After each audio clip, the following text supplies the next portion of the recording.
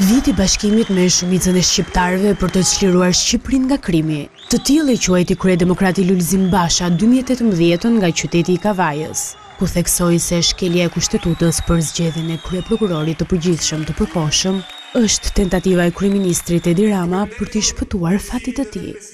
Edi Rama i trembet hetimit deri në fund të Saimir Tahirit.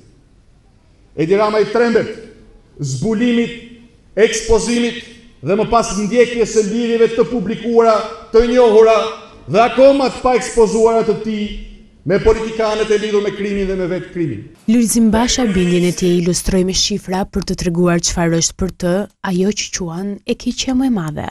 Dyzet e tre për qind e familjeve në këto ditë të ftohta të dimrit nuk sigurojnë dot ngrohjen, ndërsa vetëm për vitin dy mijë e shtatëmbëdhjetë Edi Rama shpenzoi treqind e pesëdhjetë mijë euro për kondicionerë vetëm për kryeministrinë. Të gjitha janë produkt të një vendi që nuk ka më qeveri, po ka një bandë. As një qeveri që sillet si bandë, por një bandë që pretendon që të jetë qeveri.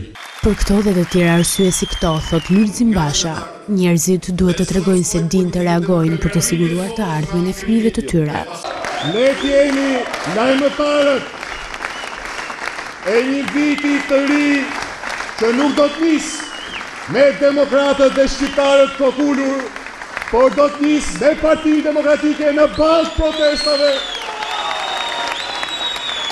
me një premtim të madh ashtu siç bëmë në Kavajë, ne do ta çlirojmë Shqipërinë nga krimi dhe politikanët e inkriminuar me një të ardhme europiane dhe një Shqipëri si gjithë Europa.